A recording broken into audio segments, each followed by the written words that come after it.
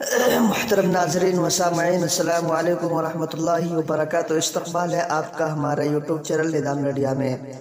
अगर आप यूट्यूब पर देख रहे तो चैनल को सब्सक्राइब कीजिए और इस खबर को ज़्यादा से ज़्यादा शेयर कीजिए। जैसा कि आप तमाम लोग बखूबी वाकिफ़ है कि मुल्क के बिगड़ते हालात के पेश नज़र गुज्त कई सालों से जमयत हिंद के प्लेटफॉर्म से ऐसा कोई इजलास तलब नहीं किया गया है।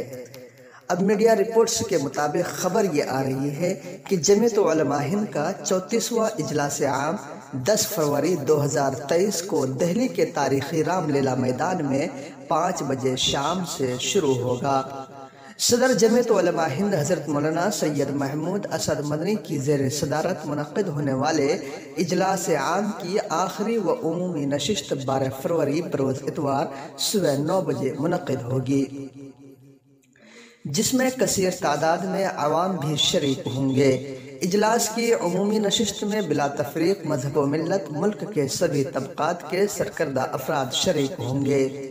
ये इजलास मुल्क के मौजूदा हालात बिलखसूस मुल्क में बढ़ती मुनाफरती मुहिम, इस्लाम बोफिया नस्ल कुशी के ख़तरात, आज़ाद मदारस इस्लामिया के सिलसिले में जारी सरकारी कार्रवाइयों के पस मंज़र में काफ़ी अहम है। इसके अलावा इजलास में मुसलमानों के लिए रिजर्वेशन अकलीतों के तालीमी व इकतदी हकूक़ और मुस्लिम अवकाफ़ के तहफ़ की तदाबीर पर लाही अमल तय किया जाएगा। नीज़ इस्लामी तालीमत के सिलसिले में गलत फहमियों के इजाले मीडिया के ज़रिए इस्लाम मुखालिफ और शान अकदस सल्लल्लाहु अलैहि वसल्लम में गुस्ताखी व अफरा तफरी पर दराजी पर भी गौर किया जाएगा। मस्कुरा बाला मौजूद इजलास आम के एजेंडे में भी शामिल है। फरवरी को बाद नमाज़ मगरब पहली नशिस्त और 11 फरवरी को सुबह नौ बजे, ता दस, एक बजे, दूसरी नशिस्त जमतमाहिन के मरकज़ी व सूबाई मजलिस मुंतजिया के अरकान मतन पर मुश्तमिल होंगी। ग्यारह फरवरी को बाद नमाज़ मगरब शान अकदस वसल्लम की मदहत व मनकबत के लिए नातिया मुशायरा मनद होगा। बारह फरवरी को सुबह नौ बजे से अमूमी इजलास में गुज्त नशस्तों में मंजूर करदा अहम तजावीज़ पेश होंगी। इसके अलावा मुख्तलिफ़ शोब हयात से ताल्लुक़ रखने वाली शख्सियात शरीक होकर इजहार ख्याल करेंगे और फैसले किए जाएँगे।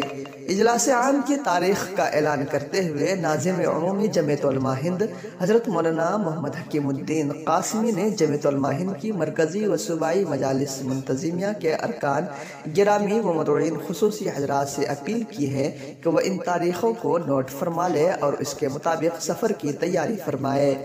उन्होंने कहा कि हालाँकि अरकान को बाबा दावतनामा जारी किया जा रहा है, ताहम अगर किसी रुकन को दावतनामा मौसू ना हो तो इस तहरीर की रोशनी में इजलास में शिरकत को अपनी तमाम ज़रूरियात व मसरूफियों पर मुकदम रखते हुए तशरीफ़ लाकर अपने मुफीद मशवरों और ताउन और रहनुमाई से न सिर्फ़ जमात बल्कि पूरी मिलत इस्लामिया को मुस्तफ़ फरमाए।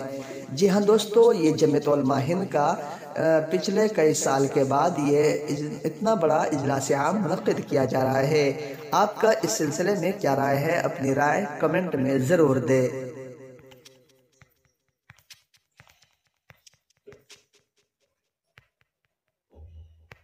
मैं लोगों से यही